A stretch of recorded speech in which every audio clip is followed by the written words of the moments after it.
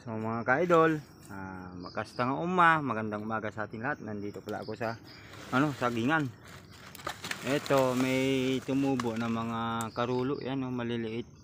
Pero sa saging siya ano, tumubo. Ewan ko kung makain itong ano, itong karulo na to. Sa saging naman siya tumubo mga ka-idol, napakarami. Yan, ganyan yung itsura oh. Maliliit nga lang siya. Pero mabango naman, hindi naman masama yung amoy. Ayan oh, masarap siguro ito pang ano. Kung makain nito, ano, masarap siguro isahog sa pang dinengdeng. Oh, yan yung itsura niya. Oh. oh, tumubo sa mga saging. Oh, yan oh, maliliit nga lang siya, idol. Ewan ko kung makain nga ba ito o hindi. Ganda naman yung amoy. Parang ano, parang lupi na maliliit, idol. Yan, napakarami. O, yan. O. Meron pa dito sa baba. O, yan. O. Yan.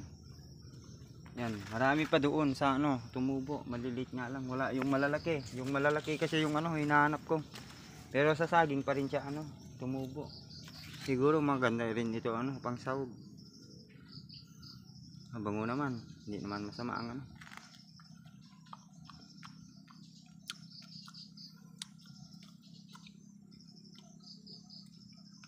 Maganda rin naman yung lasa.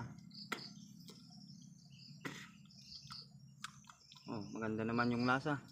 Makain siguro yan kasi sa ano eh, sa puno ng ano, saging siya ano, tumubo. Yan, pa-comment naman idol kung makain nga ito, eh kukunin ko. Dahil napakarami idol. Nahanap ko kasi yung ano, yung malalaki. Walang tumubo na malalaki, puro maliliit lang yung tumubo. Yung itinatawag daga patu karulo na dupo.